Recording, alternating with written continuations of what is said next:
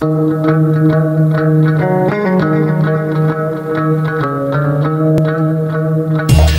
on Campbell Live, who's in control of your wallet, you or your tweenager? Yes, tweenagers, that's kids aged between 10 and 14.